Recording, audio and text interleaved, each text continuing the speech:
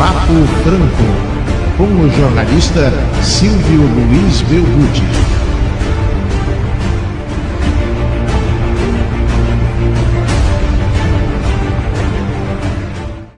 Boa noite, estamos começando mais um Papo Franco. O Papo Franco de hoje é especialíssimo.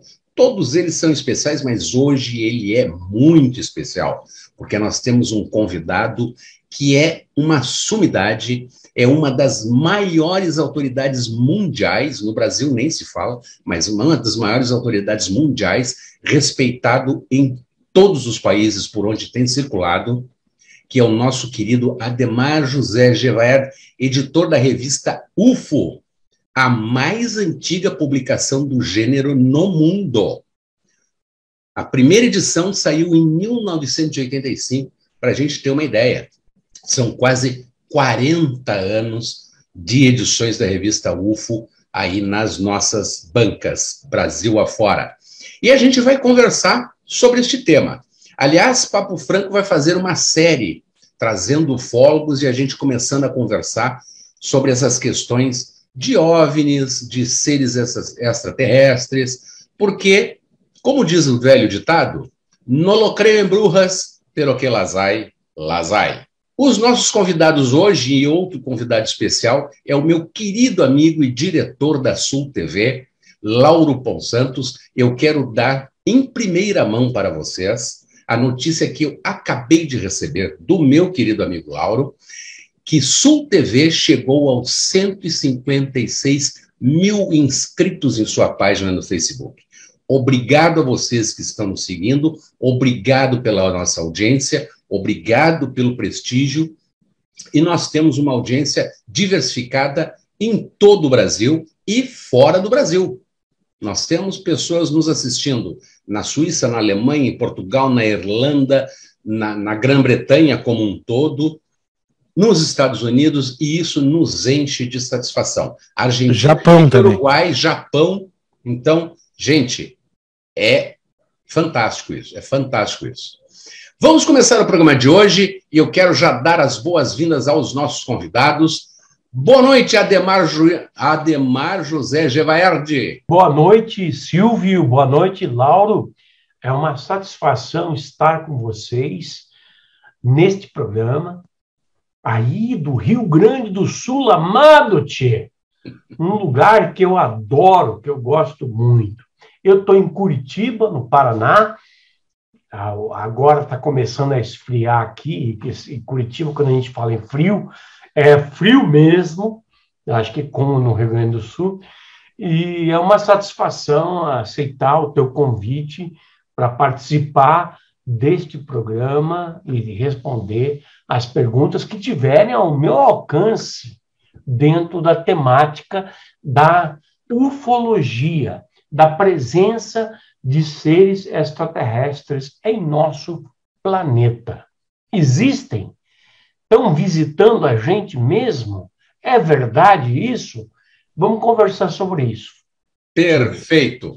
Boa noite, meu querido Lauro Ponsantos, meu diretor e diretor da Sul TV RS. Boa noite, boa noite, Silvio, boa noite a todos que nos acompanham. Eu estou em casa, não estou na TV, portanto, se vocês ouvirem ruídos aqui, são os cachorros que estão brincando na minha volta. É, inclusive estão quase balançando a mesa toda aqui cada vez que eles passam. Aqui em Torres, frio na noite de hoje bastante frio, surpreendente frio. O vento bate aqui na janela com uma grande força e estamos aqui falando com o editor. Eu estava falando fora do ar nisso. Eu era chamado de nerd por acompanhar as edições da revista UFO lá em 85.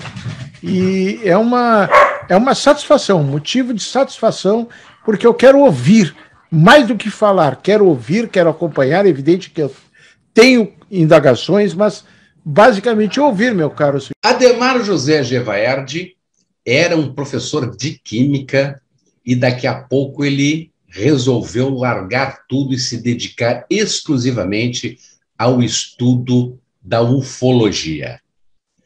Fundou a revista UFO em 1985, participa de diversos fóruns nacionais e internacionais sobre ufologia.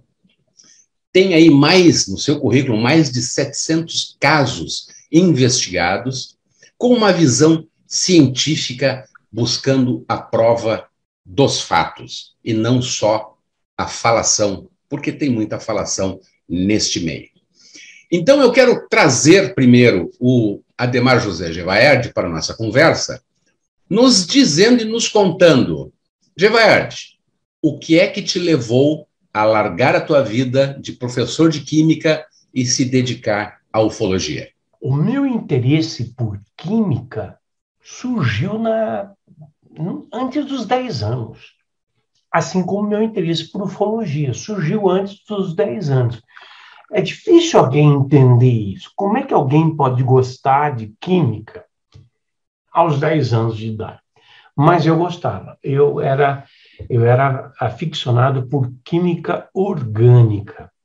E aos 12, 13 ou 14 anos, eu já lia e pesquisava em livros de química orgânica de mil páginas em inglês de autores russos. Então, era algo que, que me atraía. Ao mesmo tempo, a ufologia me atraía. A ufologia me aficionava. Eu era um grande apaixonado por essa disciplina.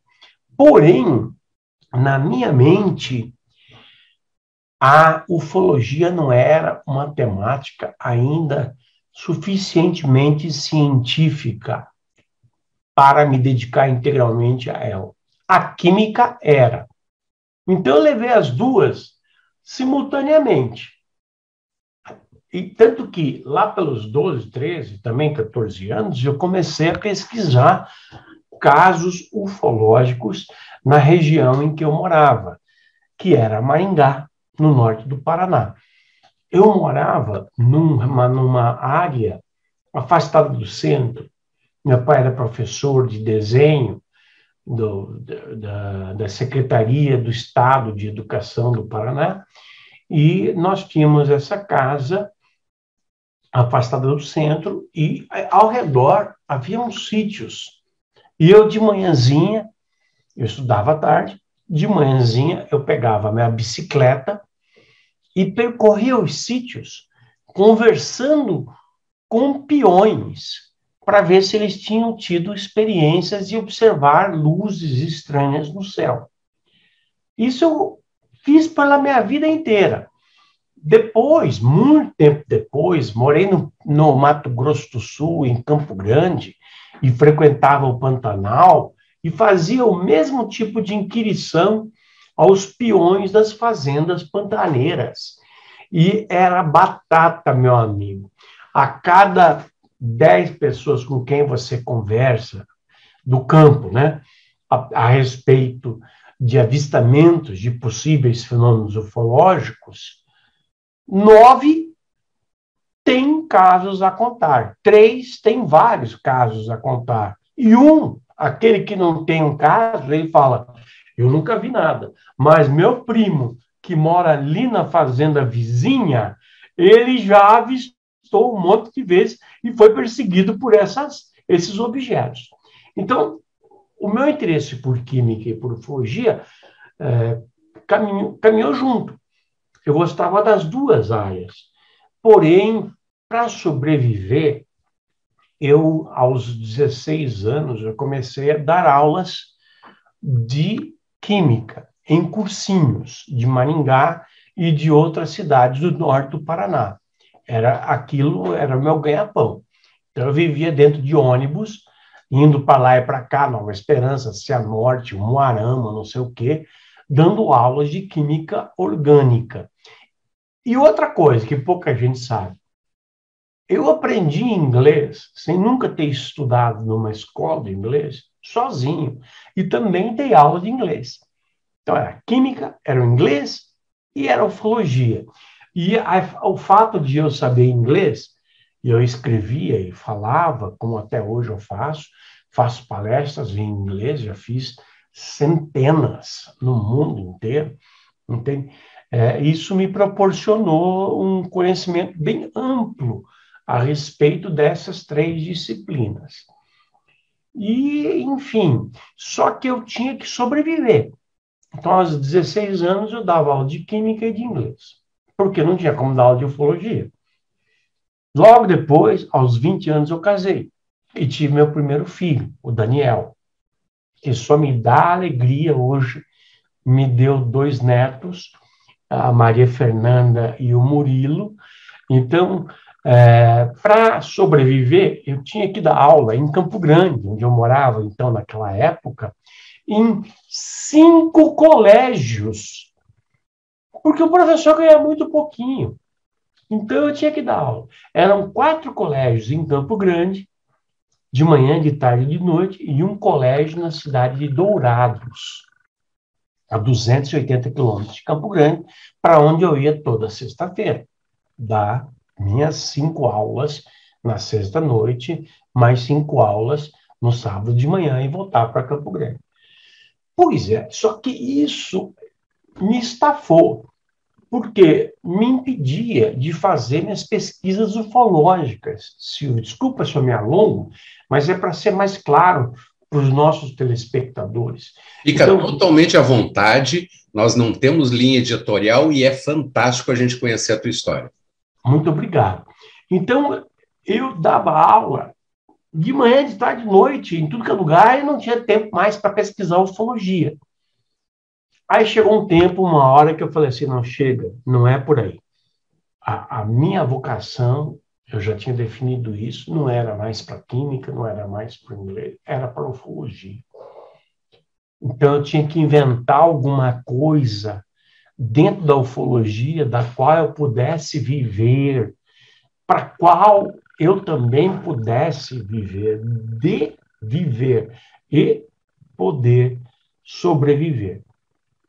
E aí eu lancei a revista Ufologia Nacional e Internacional, que era uma revista pioneira no assunto no Brasil. Antes dela havia existido uma revista feita pela dona Irene Grank, no Rio de Janeiro, que durou dois anos, ela era trimestral, saía a cada três meses, quatro vezes por ano.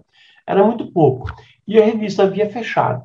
Eu falei, pô, eu não sei como é que faz uma revista, Silvio. Eu não sabia, tinha a menor ideia. Naquela época não havia nem computador.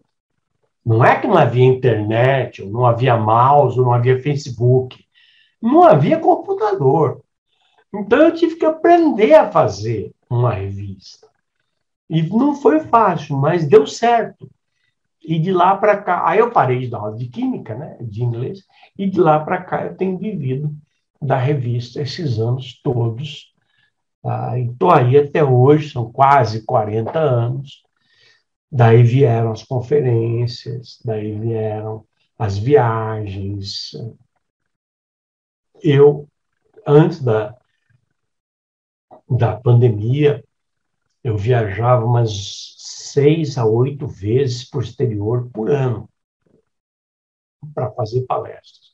Estados Unidos, Europa, América do Sul, é, depois parou tudo, né? agora está voltando.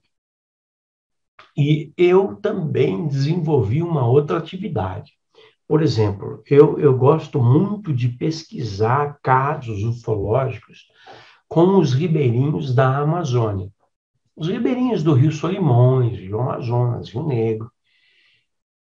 Eu, meu método de pesquisa é super simples, Silvio. Eu, eu alugo um barquinho e subo o rio.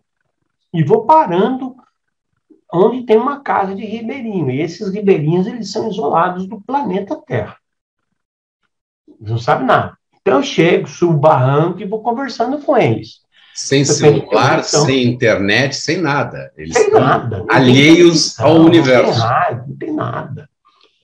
E aí eu vou conversar com eles. Eu pergunto: vocês já viram alguma luz estranha por aqui, em algum lugar? E olha, Silvio, é impre... Silvio e Laura, é impressionante o que as pessoas me contam. Então, aí eu comecei a fazer o seguinte, o seguinte planejamento. Peraí, se eu vou pesquisar o da Amazônia e eu anuncio isso, por exemplo, nas minhas redes sociais, no meu Facebook, no meu WhatsApp, estou indo para a Amazônia, um monte de gente fala, Jeva, eu quero. Jeva é meu jeito, como eles são, sou conhecido. Na Amazônia, eu sou Gevaneldo, ou Gevaeldo. Então, muita gente fala assim: ah, eu quero ir junto. Eu quero ir junto com você. Tá bom, vamos embora. A pessoa vem junto comigo. Aí eu pensei, vamos organizar essa bagunça. Porque era uma coisa fora, sem estrutura. Então, eu eu organizei as viagemcomgevaer.com.br. E esse ano a gente tem uma viagem para a Inglaterra para pesquisar os círculos, os agroglifos, e outra na Amazônia para pesquisar os UFOs. Então, é uma outra atividade que eu desenvolvi. Tudo isso, meu amigo, para te falar que a minha paixão por ufologia, ela é muito grande e, e eu faço assim, eu me reinvento sempre que eu posso para poder abarcar o máximo possível de experiência dentro desta área. Desculpa, Fantástico. Que, demais, que bela história, que bela história. Muito obrigado. Não ficou demais, ficou do tamanho certo. É uma belíssima história. E aí já me remete a, a uma questão para ti, que é a seguinte tu já cansou de dar entrevistas para diversas redes, diversos jornais, diversos jornalistas. Mas uma coisa que sempre me incomoda, é, eu acho que o jornalista ele tem que ter um pouco do seu ceticismo, mas o ceticismo ele não pode descambar para pirrélia, para o deboche, para piadinha.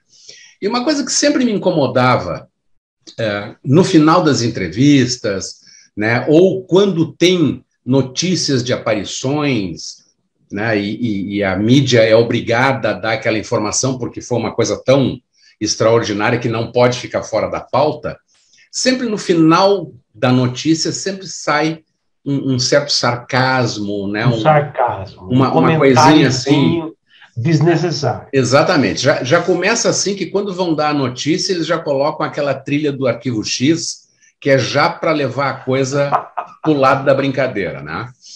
Como é que tu enxerga esse papel da mídia no quesito de passar uma informação com seriedade de um tema que é sério? A mídia sempre foi assim.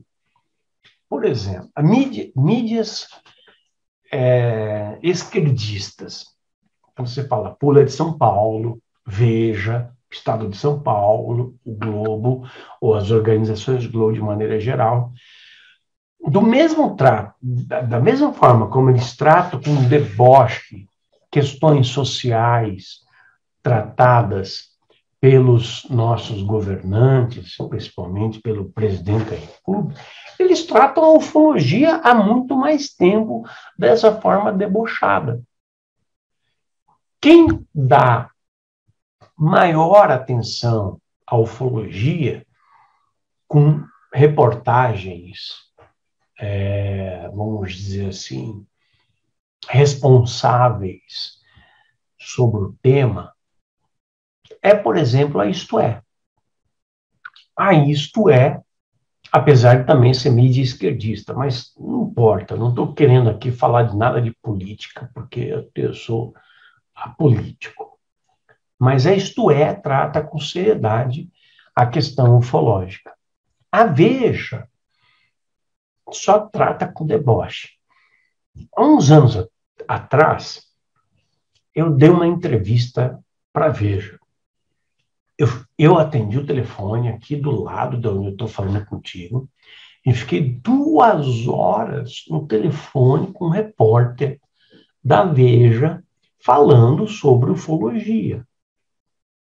Pois a Veja publicou duas páginas e mencionou de forma truncada uma afirmação que eu fiz. Uma única, mais nada era sobre o fenômeno dos círculos ingleses, que nós chamamos no Brasil de agroglifos. Eu pesquisei dezenas deles em vários lugares do, de Santa Catarina do Paraná, publiquei um livro a esse respeito, que é esse aqui, Agroglifos no Brasil, é como a gente chama aqui os círculos ingleses. E, e na entrevista, eu fui perguntado pelo repórter da Veja, cujo nome não me lembro, também nem quero me lembrar mais, é, sobre a história de que dois velhinhos da Inglaterra faziam os círculos ingleses e tapeavam todo mundo. Já morreram, faz tempo, isso foi na década de 80. E eu expliquei para o repórter que o, o quão impossível era que eles tivessem feito aquelas marcas na plantação. Porque numa mesma noite apareciam 30 em lugares diversos da Inglaterra. E eles não podiam estar em todos esses lugares. Até, e também porque os círculos que eles fizeram diante da imprensa eram toscos. Eram, assim, bem ruins mesmo. Imensamente diferente dos círculos produzidos, ou da, dos agroglifos produzidos por essas inteligências que nos visitam. Pois bem, no término da entrevista da Veja, no término da matéria da Veja, os caras, o cara, o repórter falou: Pois é, hoje é, nós sabemos que quem faz os círculos, os agroglifos, são dois velhinhos ingleses. Eu falei, quando eu acabei de ler aquela reportagem, eu falei: não é possível. Não é possível. Eu expliquei em detalhes. Eu dei exemplos, eu mandei links, eu falei tudo, eu falei da impossibilidade que seria. Eles terminaram a matéria dando como explicado o fenômeno dos agroglifos. Então, essa imprensa é uma imprensa suja, é, tendenciosa, que não faz bem à sociedade, porque ela é tóxica. E sobre ufologia, ela é repulsiva, ela, ela é irresponsável. Ora, um dos temas mais importantes para a humanidade é saber que nós não estamos sós no universo, que existem inúmeras, incontáveis outras civilizações. Isso tinha que nortear repórteres, editores, de publicações diversas, revistas, jornais, telejornais de escambau, a tratar o assunto com seriedade. Mas, infelizmente, é o contrário. Não é, tratam o assunto com é, seriedade. É, é, é, um, é, um ponto, é um ponto que me deixa sempre desconfortável em relação aos meus colegas. Mas a, a gente também tem alguns exemplos aí, como aquele filme do Mel Gibson, Signs, né, Sinais, que uhum. também foi um desserviço um desserviço à ufologia. No, no sentido da, da, da informação. Né? É, primeiro, não acontece agroglifos em plantações de milho. É uma coisa extremamente rara. E no caso do filme Sinais, do Mel Gibson, o agroglifo surgia na casa, no fundo da casa dele, onde tinha uma plantação de milho. Já não era uma coisa normal. Segunda forma como o filme encarou a origem daquele fenômeno. Exato. Completamente debochada. Então foi, foi, foi ruim para a ufologia. Hoje, esse é um fenômeno que tem a maior seriedade, que deveria ser tratado dessa maneira pelos meios de comunicação, e filmes deveriam ser feitos tratando da realidade desse fenômeno. Aliás, Filmes deveriam, deveriam ser feitos tratando da realidade do fenômeno UFO em muitas circunstâncias. Nós estamos agora prestes a, a ver pelo Netflix uma produção do norte-americano James, James Fox sobre o caso Varginha, que aconteceu em Minas Gerais. Tá? Ele está trabalhando há anos na produção desse documentário, que vai ficar pronto nos próximos meses, todos poderão assistir, em que mostra o caso da queda de, um, de uma nave nas, nas cercanias, nos arredores da cidade de Varginha, em que pelo menos dois tripulantes ou dois membros daquela tripulação for, sobreviveram e foram capturados pelo exército brasileiro. Esse é um caso muito sério. E, Aliás, ele é fartamente documentado, né? Fartamente documentado. E não, e não, é, por, e não é por Zé Ninguém, é, são, são generais, né? são, são altas Mesmo patentes. Do corpo de né? bombeiro, né? da polícia Exatamente. militar de Minas, do Exército. Alguns falaram sem mostrar o rosto, outros é, mostraram o rosto. E como isso aconteceu em 1996, muitos militares que participaram das operações de resgate da nave e captura dos alienígenas, dos seres é, sobreviventes, já estão aposentados.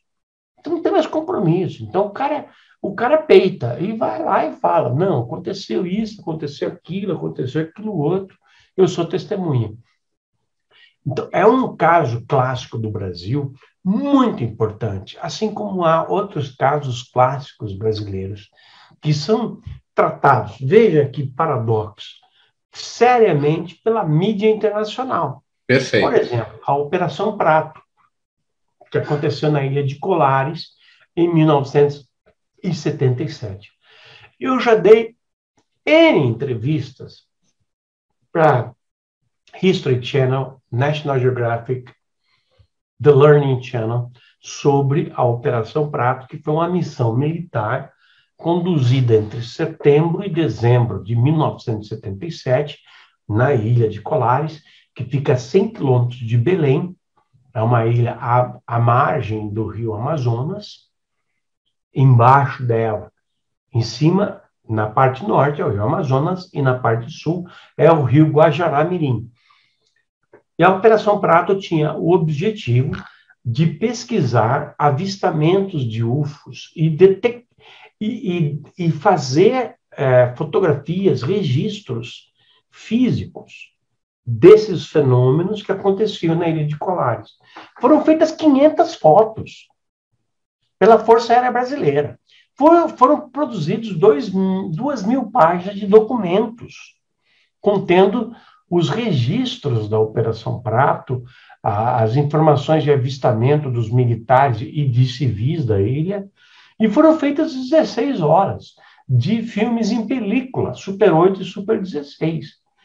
Parte desse material foi liberado pela Força Aérea Brasileira e se encontra no Arquivo Nacional em, é, em Brasília e no Rio de Janeiro. Mas ainda tem coisa que não foi liberada.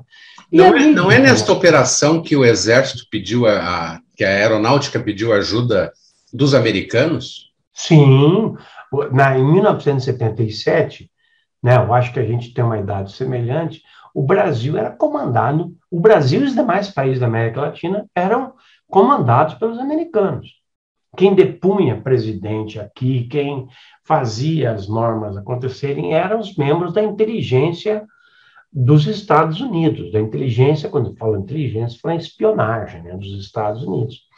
E é, em 1977, naquela época, os membros da inteligência americana estavam por todas as partes do Brasil, porque era interessante para eles saber o que o Brasil poderia produzir para proveito deles. E eles condicionarem a participação de membros do governo brasileiro a, a sua presença no, no, no, país. E a, a mesma coisa acontecia na Argentina, na Colômbia, no Chile, no Paraguai, no Uruguai, na Argentina, e por aí vai. Pois bem, durante a Operação Prato, que foi uma, uma, uma missão militar, para a qual nós não temos paralelo no mundo.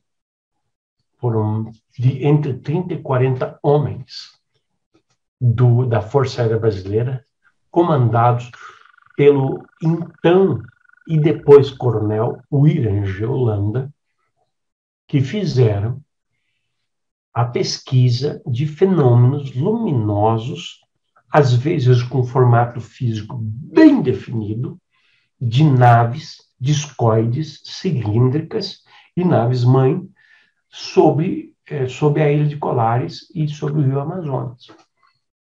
Isso é uma coisa que tem sido tratada pela imprensa internacional, pelos veículos, como, por exemplo, eu citei o National Geographic, é o History Channel, o Netflix, ou a Netflix, com seriedade. Ufólogos brasileiros, entre eles eu, têm sido entrevistados, consultados sobre isso já há mais de 10 anos. Então, essa mídia trata com seriedade estas questões, ao contrário da mídia brasileira. Por exemplo, Silvio, uma coisa que a mídia brasileira não tratou, ou se tratou, foi de maneira rasa. E, em 2007, a partir de 2007, a Força Aérea Brasileira passou a desclassificar ou a liberar centenas de páginas de documentos de pesquisa ufológica oficiais, pesquisas ufológicas oficiais realizadas pela aeronáutica. Está tudo no arquivo nacional. Hoje, tá?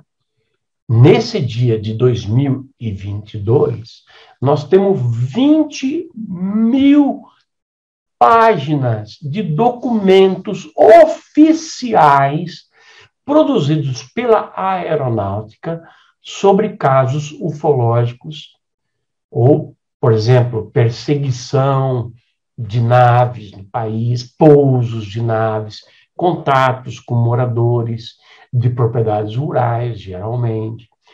Tudo isso está no Arquivo Nacional. E o que a imprensa fala a respeito? Zero, ou quase zero. Então, não dá para entender. Um país como o Brasil, quinto maior do mundo, tem sua força aérea revelando que pesquisou oficialmente naves de procedência extraplanetária em vários lugares do país. Tem documentos, tem fotos, tem tudo isso. E isso está à disposição da população no Arquivo Nacional. Como é que essa imprensa não fala nada sobre isso? Não dá para entender. Verdade. Não dá para entender. É, é algo assim surreal. É porque a imprensa publica o que ela quer. Hoje nós estamos vendo isso nessa polarização política que está havendo no Brasil entre esquerda e direita. A imprensa publica o que ela quer. Exato. Exato. Publica o que ela quer. Eu, eu, quero, eu, quero trazer o, eu quero trazer o Laurinho para a conversa, porque eu sei que ele está ali já se coçando para fazer algumas perguntas para o Gevaer. Vai lá, Laurinho. Bom, em primeiro lugar, que histórias maravilhosas e que clareza é, em, em, se referir, professor, aos casos, é, principalmente do Brasil. Tantos nós temos, né? a citar aí o chupa-chupa, que é um dos casos, ao citar em é, abduções que acontecem aqui no Brasil, e eu vou lhe dizer, eu estou falando de Torres, no Rio Grande do Sul, que é um dos portais aqui na Praia da Guarita, existe um portal de acesso em que há um encontro de naves. Muitas visualizações, eu mesmo tive essa oportunidade sem querer, na frente da onde eu morava, ali na Avenida Beira-Mar, é, de ver uma nave sobre o mar em cima do mar. Foi no começo da manhã, por incrível que pareça, num dia de carnaval, que era impossível dormir por causa do barulho. Fui para minha sacada e vi uma nuvem, o céu azul, azul, azul, uma nuvem preta ou algo preto. Eu disse, mas o que, que é isso? Nuvem não é, balão não é, helicóptero não é, e dali a pouco, do nada, ela puff, se moveu rapidamente para um lado, voltou e sumiu. Não tive nem tempo de pegar uma câmera, pegar um celular, nada, mas guardei na memória. Eu queria lhe perguntar, professor, já que o senhor está falando do papel da mídia, que é pífio, e notadamente pífio aqui no Brasil. Quando houve a noite dos discos voadores, é, tão falada por pilotos e até por empresas aéreas na década de 70, acredito eu que no final da década de 70. 80. Foi 80, exato. Eu tenho, inclusive, as gravações, eu consegui com, com um colega da Rede Globo, que tinha, teve acesso a essas gravações, eu tenho as gravações do rádio, da comunicação dos pilotos e da torre. Aquela noite dos discos voadores foi tão mal noticiada e tão mal coberta. O senhor concorda, professor? Concordo, sim, Lauro. Concordo. E veja, nós publicamos ainda neste ano um livro, A Noite Oficial dos UFOs no Brasil, que retrata é, assim detalhadamente, momento a momento, como foi o que, e o que aconteceu naquela ocasião. Foram 21 UFOs lá, e Silvio, de 100 metros de diâmetro. Eram objetos esféricos. Foram observados um a um. Foi surgindo um, foi surgindo outro, foi surgindo outro. De repente, eram 21 objetos esféricos de 100 metros de diâmetro cada um, levando a aeronáutica brasileira a deflagrar os seus caças a jato, Mirage e F-5E, no encalço para identificar o que, que eram aqueles fenômenos e forçar a aterrissagem, porque houve uma intrusão, uma invasão do território nacional. E essa, essa noite ela é chamada de oficial porque dois dias depois, o então ministro da Aeronáutica, na época, uma pasta que não existe mais no, há, há 10 anos no Brasil, o Otávio, brigadeiro do ar Otávio Moreira Lima, ele convocou todos os pilotos militares, os seus comandantes, os controladores de tráfego aéreo, os controladores de radar e outras autoridades a darem uma entrevista coletiva à imprensa para falar sobre os discos voadores. É com essa seriedade que o Brasil em 1986, em maio daquele ano, tratou a questão desta, entre aspas, invasão de 21 UFOs no território nacional. Nenhum país jamais fez isso. Nenhum país. Isso é uma coisa que esse, recorde, essa, é, é, essa coisa inédita, pertence ao Brasil. Aliás, o Brasil, Laura, me permite dizer, ele, ele é pioneiro numa série de atividades a respeito dos discos voadores. Pouca gente sabe, e a imprensa não noticia, mas foi o Brasil, em 1954, o primeiro país do mundo a admitir que discos voadores existem e vêm de fora da Terra. E isso foi feito na Escola Superior de Guerra, no Rio de Janeiro, numa afirmação pronunciada pelo então capitão João Adil de Oliveira, da Aeronáutica, que tinha recém-chegado dos Estados Unidos, onde ele foi saber mais sobre esse fenômeno dos discos voadores. E nos Estados Unidos, ele foi orientado pelos militares americanos a não deixar esse assunto prosperar no Brasil. Pois ele chegou e, como bom brasileiro, ele fez exatamente o contrário.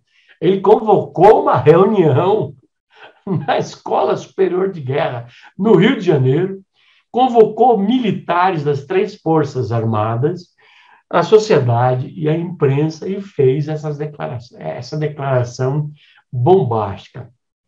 Surgiu 54, aí, 1954. 1954, Silvio. Surgiu, a, a, a, é dito na literatura ufológica, se você for procurar, você vai encontrar, que quem primeiro admitiu a existência de discos voadores teria sido a França, em 1976. Mas não, foi o Brasil 22 anos inteiros antes, em 1954. E aí surgiu o primeiro programa oficial de pesquisa de discos voadores no Brasil, chamado Inquérito de Pesquisa de Objetos Aéreos Não Identificados, que teve ramificação por todo o país.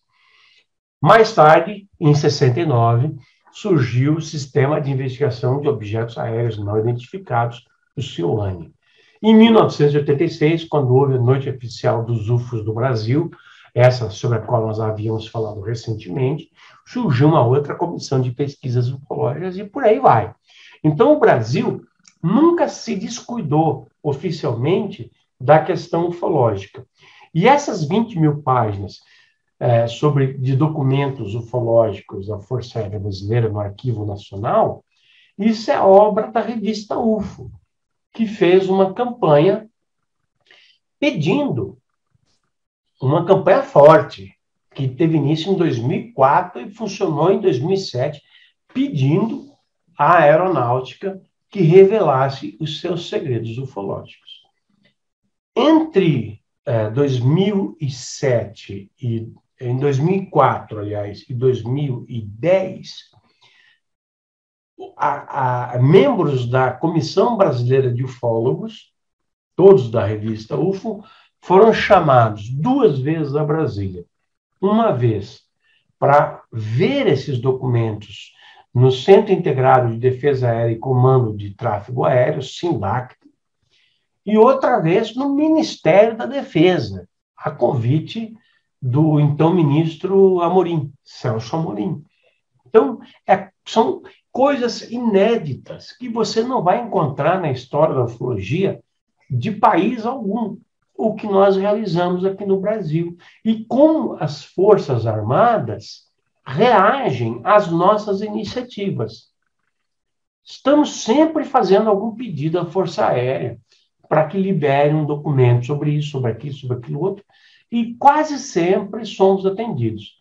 Nas vezes em que não somos, é porque os documentos que nós estamos requerendo, eles revelam segredos relativos à segurança nacional, de localização de radares, de estratégia de de vigilância nacional. Então, é compreensível que certos documentos não sejam revelados.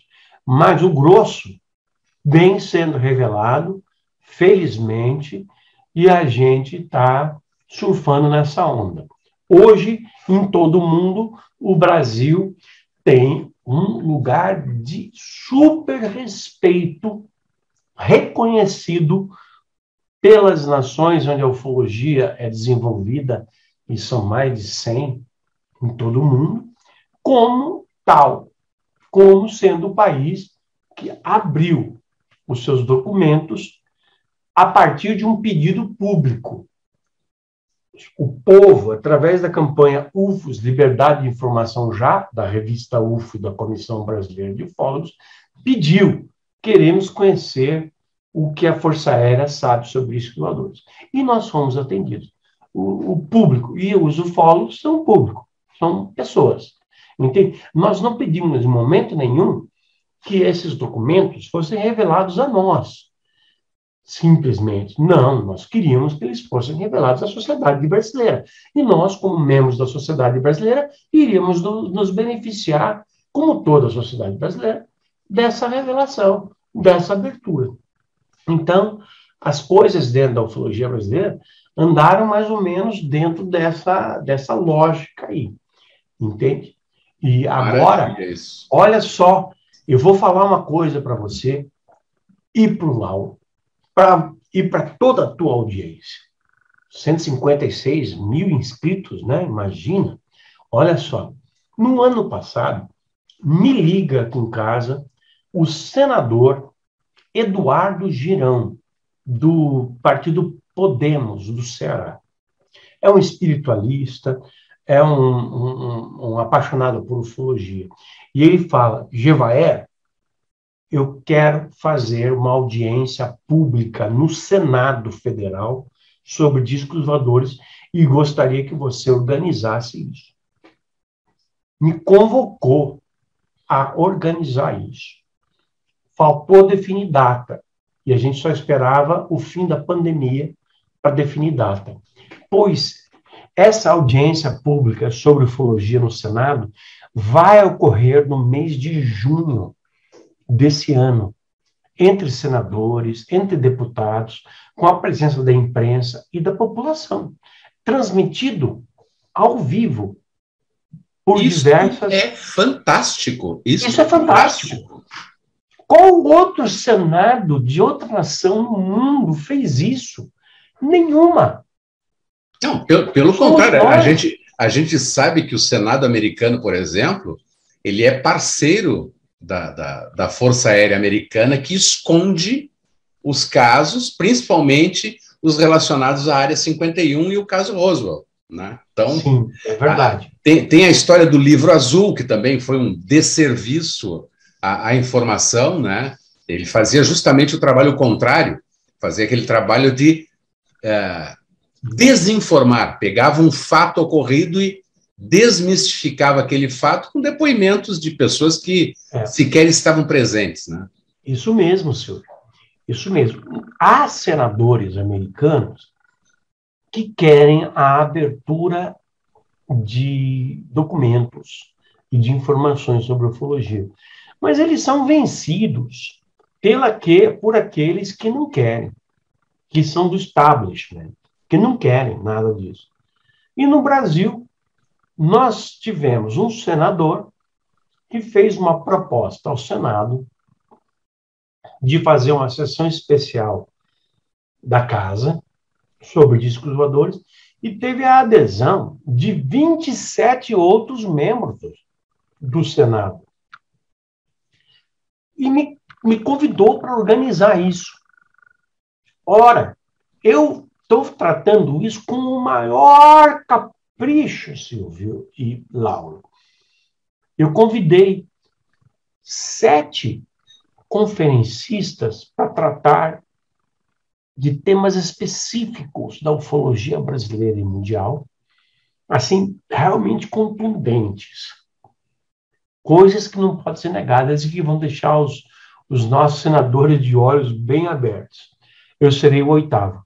E convidei um ex-integrante de um projeto de pesquisa a, secreto até 2019 do Pentágono, para participar desse processo. Vamos aguardar, estou aguardando a decisão dele, ele está com a agenda cheia, mas senão ele vai fazer por vídeo chamado. Mas vamos fazer mais uma vez história da ufologia brasileira, meu amigo.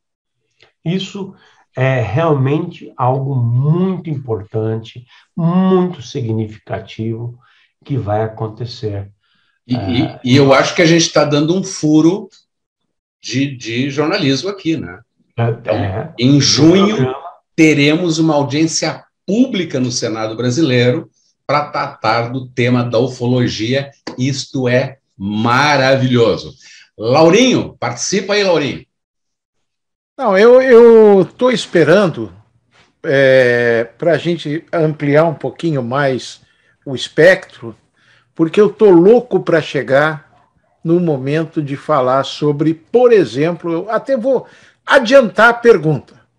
Professor, o senhor já ouviu falar do grupo dos sete? O senhor já teve essa, não sei se o nome do grupo é correto, do qual teria participado é, desse contato, inclusive o criador da série Star Trek? O senhor chegou a, a, a acompanhar isso? Teve algum conhecimento?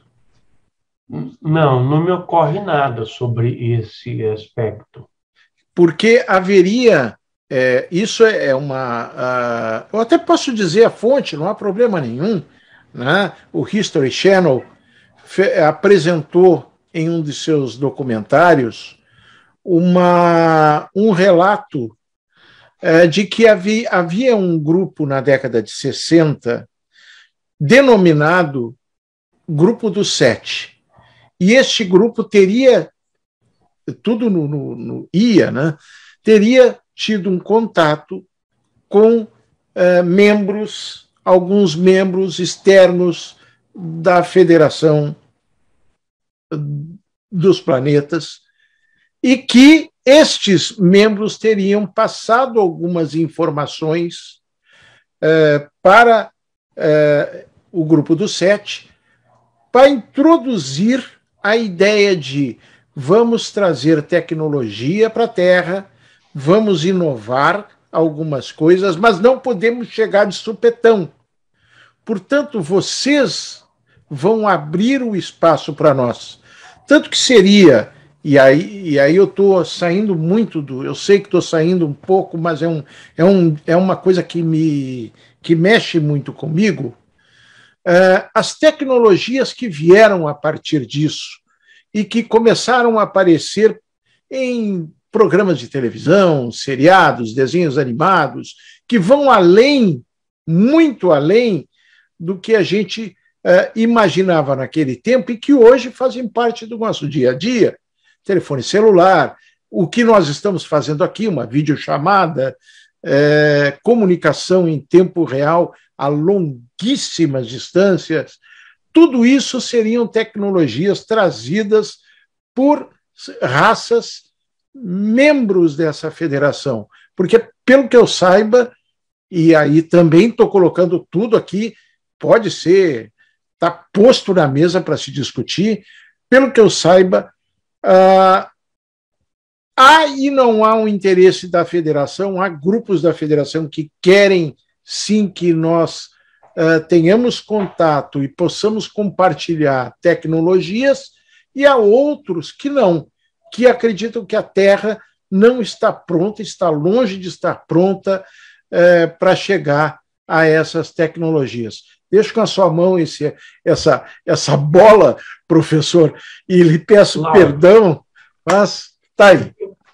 Eu não conhecia sobre esse título, Grupo dos Sete, mas eu tenho conhecimento de várias circunstâncias em que civilizações extraterrestres estiveram em contato com uh, os governantes dos Estados Unidos. Geralmente são, é com eles que esses contatos acontecem. Há uma história, inclusive, de que haveria uh, ocorrido um, um acordo entre essas civilizações e o governo americano. Essas civilizações iriam transferir tecnologia extraterrestre para os americanos, e os americanos iam permitir que essas civilizações abduzissem, sequestrassem seres humanos para experiências, experiências genéticas. Olha, eu tenho assim algumas restrições a essa teoria.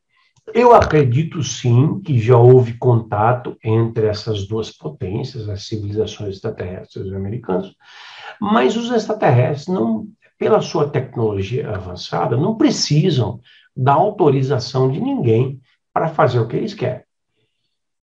Agora, sim, há uso da tecnologia extraterrestre e várias vários programas americanos de pesquisa da Força Aérea, do Pentágono, eh, já trabalharam com a ideia de conhecer o funcionamento dos discos voadores para obter, obter é, privilégios, obter benefícios a partir dessa tecnologia. Mas todos foram nulos. Por exemplo, é, quando aconteceram quedas de UFOs nos Estados Unidos, esses UFOs acidentados, porque essas naves podem se acidentar. É a, mesma, é a mesma coisa que, por exemplo, uma Ferrari de 3 milhões de, de reais pode se acidentar, bater num poste. Basta o motorista ser incompetente ou ter quebrado uma pecinha dentro da Ferrari. Então, diz que os voadores caem. E quando eles caíram, eles foram levados para um lugar chamado Área 51, nos Estados Unidos. E lá foram feitas pesquisas de desmontagem dessa nave, que é o que é chamado de retroengenharia ou engenharia reversa. Por quê? Desmontando as partes da nave, dá para se descobrir como é que ela funciona. Mas volta e meia surge algum informante de que que teve participação nesses projetos de pesquisa, relatando que em décadas de estudo de determinadas naves, eles não, não conseguiram descobrir nem se a nave tinha um motor, muito menos onde ficava. Então, aparentemente a tecnologia, aparentemente não, certamente a tecnologia dessas civilizações está tão além das nossas condições intelectuais, técnicas, que não seria proveitoso para o governo americano ou qualquer outro tentar obter a tecnologia delas, dessas naves. Não, não seria possível, entende? Então, é, isso é, é algo mais ou menos patente. Nós sabemos hoje de inúmeras circunstâncias de naves que foram acidentadas e resgatadas. Eu publiquei dois livros sobre isso, Quedas de UFOs 1 e Quedas de UFOs 2, do autor Tiago Tiquete, que trata dessas ocorrências. São inúmeras as circunstâncias em que essas naves se acidentam. Não são infalíveis, elas caem, também caem, tá? Por exemplo, nós mandamos um monte de naves para Marte. Algumas se esborracharam na superfície do planeta. Então, elas têm a tecnologia para atravessar a atmosfera, atravessar a distância entre Terra e Marte, atravessar a, atmosfera de Marte, são todos desafios muito complexos, e se esborracham na superfície de Marte. Então, isso pode acontecer. E nós não tivemos ainda proveito, ou pelo menos que se saiba, da tecnologia desses seres extraterrestres. Agora, falando de federações, e esse é um tema que eu estava conversando com o Silvio antes da gente começar a gravar, é uma coisa meio óbvia que devam existir federações, ou sei lá, uniões de planetas. Veja, a Terra, por mais atrasada que seja, ainda tem uma guerra no, na iminência de se tornar nuclear. A Terra tem uma Organização Nacional das Nações Unidas, Organização das Nações Unidas, uma ONU. Tem a Organização do Tratado do Atlântico Norte, tem o Mercosul. Enfim, nós, é, as, nossas, as nossas civilizações, a, a, os nossos países se organizaram ao redor de sociedades, de uniões entre países. A ONU tem quase 200 membros. Não funciona muito bem. Se o Brasil quiser invadir o Paraguai e dar porrada nos paraguaios, a ONU não tem o que fazer. Assim como a ONU não tem o que fazer contra a Rússia que está invadindo e detonando a Ucrânia. Mas existe, pelo menos, uma organização das Nações Unidas. E se isso acontece num país, num planeta com a Terra super atrasada, é evidente que deve existir no universo, em que planetas mais avançados que a Terra já se conhecem há muito tempo, vai saber, de repente, há milênios, e se formaram dentro de uma sociedade que a gente poderia chamar, embora seja uma coisa que remeta à ficção científica, de federação. A Federação dos Planetas Unidos. Muita gente fala disso na internet, em, em, sem ter muita ideia de como seria isso, né? Agora, essa federação deve ter deliberações. Por exemplo, a de não interferência na vida e na evolução de planetas mais atrasados. É a chamada diretriz número um da série Star Trek. Não interferência. Ou seja, os nossos problemas terrestres nós temos que resolver. Não dá para esperar que venha uma civilização de um planeta X e venha trazer a cura para o coronavírus, ou para a gripe, ou para sei lá o quê, ou para aumentar a nossa é, expectativa de vida para 300 anos, não dá para esperar. Eu Nós sempre, eu sempre coloco isso, eu, eu, sempre coloco isso como um, uma mentalidade infantil do ser humano. Né? Ele sempre fica naquela expectativa de que virá um pai, né? algo superior, que o resgatará e o salvará e, e, e curará suas doenças, etc, etc, etc. Uh, e, e, já que a gente está abordando nisso, eu gostaria de conversar contigo e que tu nos colocasse do ponto de vista dos fatos, porque a gente só pode falar daquilo que está comprovado, né? E aí é que a gente está fazendo ciência. Uh, quais são as raças conhecidas ou espécies conhecidas de seres extraplanetários que tiveram contato com a humanidade? Olha, Silvio, fala-se muito dos sirianos, dos arcturianos, dos pleiadianos, mas a gente não tem nenhuma evidência que dá para dizer, sim, fomos visitados por sirianos, arcturianos e pleiadianos, sei lá mais o quê. Não temos. Esses seres, quando eles descem à Terra, nas suas naves, e têm contato com seres humanos, eles são discretíssimos com relação à sua origem.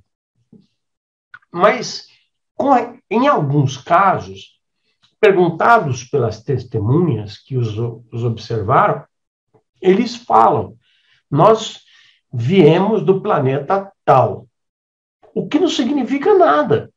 Porque nós não temos como saber onde que fica esse planeta tal. Nós não conhecemos nada do universo. Né? Hoje, veja só, nós temos conhecidos, assim, conhecidos não, catalogados, 5 mil planetas fora do sistema solar.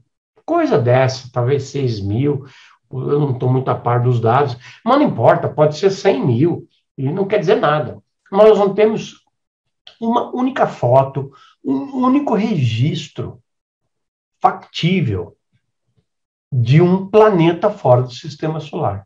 Mesmo os planetas dentro do sistema solar, para nós são desconhecidos. O que nós sabemos hoje um pouquinho mais é sobre Marte. Mas, por exemplo, a NASA não admite, que já sabe, e embora membros da NASA já tenham confidenciado isso, que há vida em Marte, vida microbiológica ou um pouco superior.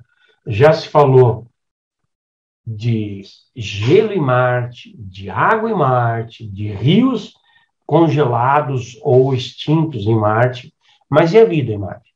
Não se falou nada. Então, nós estamos no início de uma longa trajetória de descoberta do que acontece no universo. Nós não sabemos nada ainda, infelizmente. Como eu falei, esses planetas fora do sistema solar são chamados de exoplanetas planetas externos ao sistema solar. Nós temos 5 mil registros deles. Não temos uma foto sequer. Uma foto sequer da superfície de um planeta fora do sistema solar. Nós não temos informação nenhuma, de nada de um planeta fora do sistema solar. Ah. E os planetas do sistema solar, nós temos muito pouca informação. Não sabemos nada sobre Vênus. Estamos agora descobrindo coisas sobre Júpiter, Saturno. Parece que há uma atmosfera em Júpiter. Isso está para ser confirmado, e daqui mais 50 anos vai ser confirmado. Mas é, nós ainda somos uma criança na exploração espacial. Para conhecer mais sobre a nossa origem e identidade. É, é Vênus teve uma missão uh, russa. Não, ainda era, ainda era a União Soviética na época, uh, que mandou um, um, um, uma nave, um satélite, para observar e ele entrou na atmosfera, durou 10 segundos e. Derreteu. Derreteu. É, foi a Venera. Foram do, duas missões, a Venera 1 e a Venera 2 de, derreter, porque a temperatura presumida da superfície de Vênus é de 300 graus centígrados. Então, Que máquina suporta esse tipo de temperatura? Exatamente. Enfim. Aí, aí eu vou remeter para outra questão, que é a, a NASA tem um, um, um padrão para considerar vida. Né? Então, eles têm lá um conceito de vida que é uma coisa muito parecida com o que nós somos hoje no planeta Terra, mas recentemente um grupo de cientistas desenvolveu uma outra forma de avaliar vida, que não seria propriamente dentro daquele conceito uh, de que uh, seriam baseados em carbono, né, com, com uh, alimentados por oxigênio e etc, etc, etc, abrindo uma possibilidade muito maior para a existência de outras espécies de vida, de outras formas, se alimentando de outras formas, né, que não fosse baseada em carbono. O, o que, que te parece isso? Como é que tu enxerga essa, essa nova definição ou essa tentativa de colocar esse novo conceito na, na mesa? Olha, Silvio, a gente tem que pensar nas inúmeras possibilidades. A vida na Terra é, é relativa à Terra. É relativa, por exemplo, a uma atmosfera de nitrogênio, oxigênio, gás carbônico, etc. E tal, baseada em carbono. Isso não, não necessariamente vai se repetir em outros planetas do universo. É muito possível que outras civilizações sejam baseadas em formas de vida diferentes da nossa. Então, a NASA, os cientistas, a Royal Society de Londres, tentam, é, na verdade, é, não, tentam, tentam é a palavra, eu ia falar de vago, mas na verdade elas tentam, tentam buscar outros modelos de vida extraterrestre, como seriam esses seres. Por exemplo, há seres que descem em suas naves no planeta Terra, saem de dentro das naves e, embora tenham o aspecto humano, dois, duas pernas, dois braços, um tronco e uma cabeça, eles usam um escafandro e usam um uniforme. Eles não respiram nosso ar, mas eles têm um formato humano. Há outros casos em que os seres têm um formato humano e respiram o nosso ar. Né? Aliás, adiantando um pouco a conversa, uh, eu te diria o seguinte, que em 99% dos casos de um avistamento de uma entidade extraterrestre, ela tinha o formato humano duas pernas, dois braços, um tronco, um pescoço, uma cabeça com dois olhos, dois ouvidos, um nariz e uma boca. O que, que isso quer dizer? Isso quer dizer que a humanidade não se restringe ao planeta Terra, mas que se espalha pelo, por uma boa parte do universo. Algumas dessas sociedades planetárias surgiram antes de nós, mil, 5 mil, 10 mil anos antes, e estão muito mais avançadas. Outras e ainda estão comendo picanha crua porque não descobriram fogo. Verdade.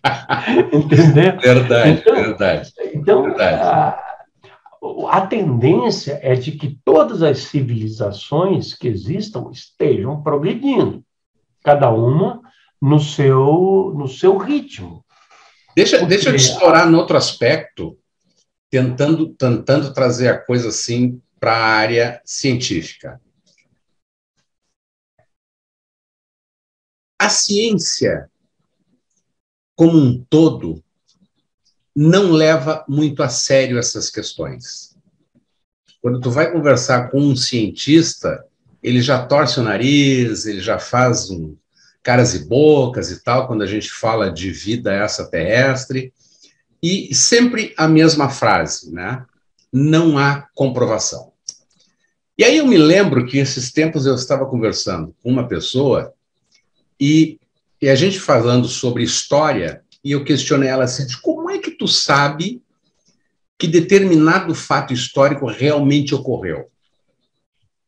Ora, porque haviam vários relatos que foram compilados em publicações E essas publicações depois foram referendadas por outros tantos que também analisaram aqueles fatos. Digo, olha, esse é um conceito bem legal. Então, quer dizer que se várias pessoas relatam, escrevem sobre e outras tantas referendam, então o fato é verdadeiro. Por que vida fora da Terra não é a mesma coisa? Por que que, tá por que, que entidades de energia também não são levadas a sério? Já que há milhões e milhões de relatos de, de tantas pessoas que dizem ter passado por essas experiências. Olha, Silvio, isso está mudando.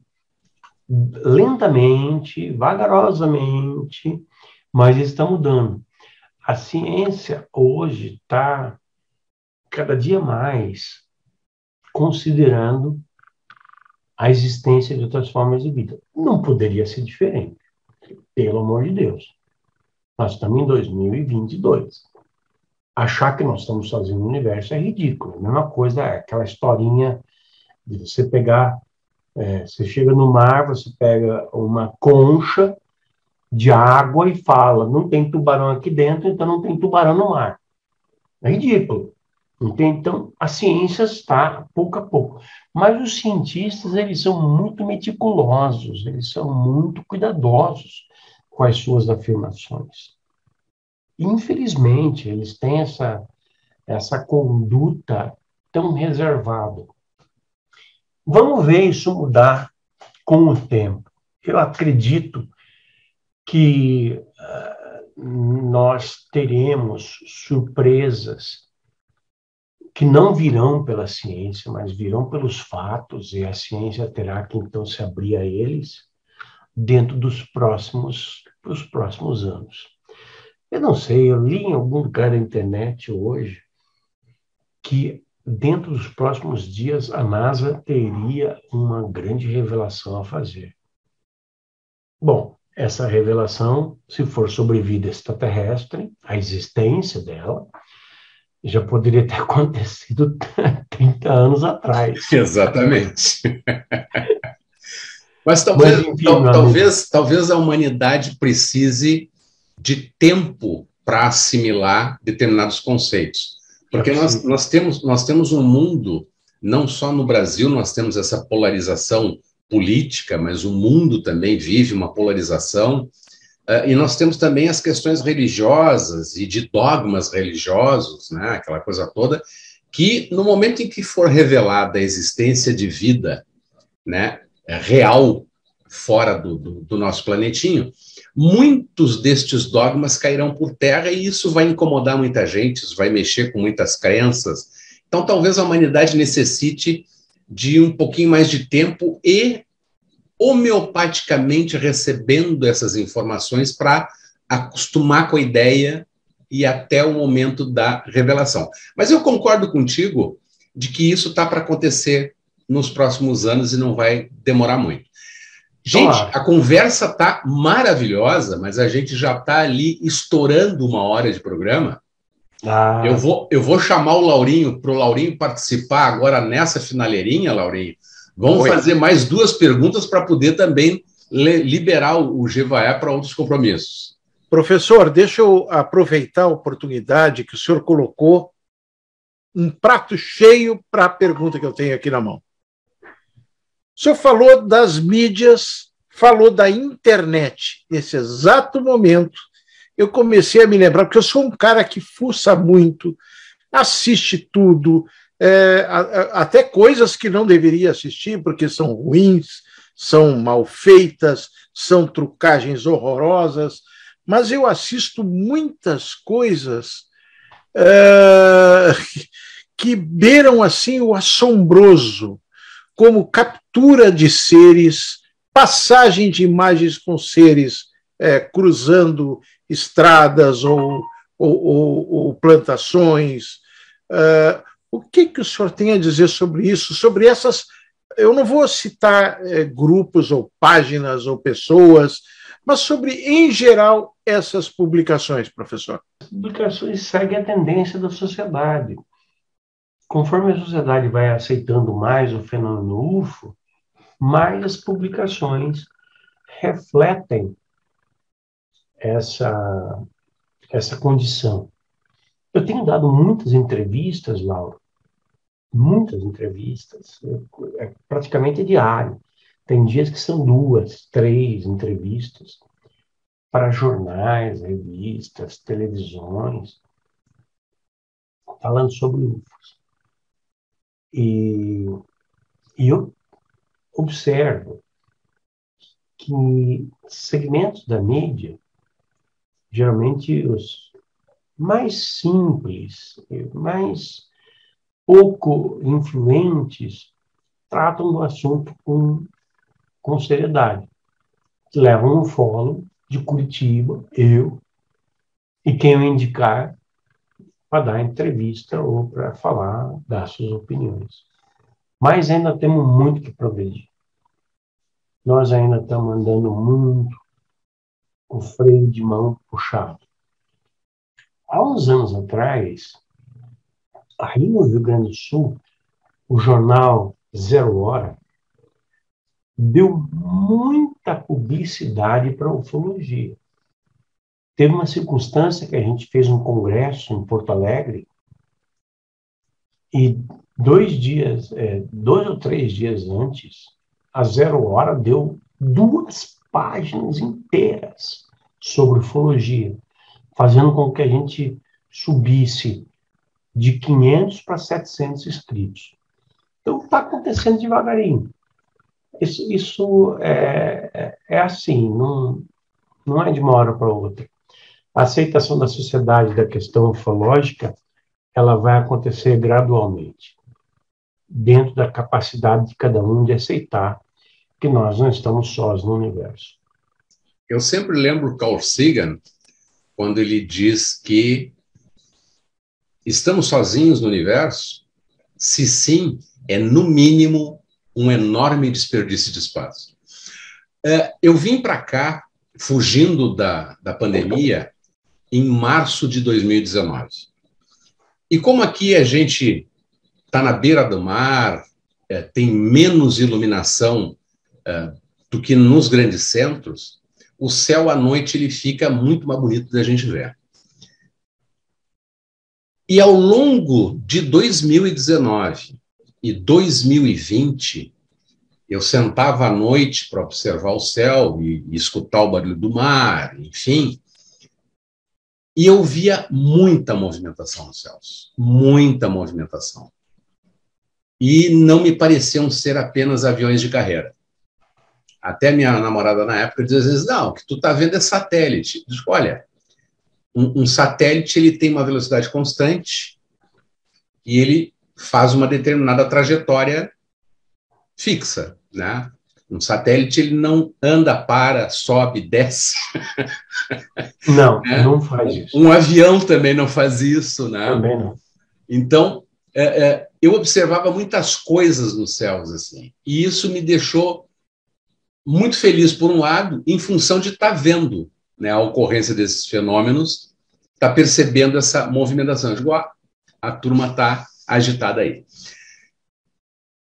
Como é que as pessoas podem, vou, vou pegar o gancho que o Lauro deixou, como é que as pessoas podem uh, avaliar o que é fato e o que é ilusão?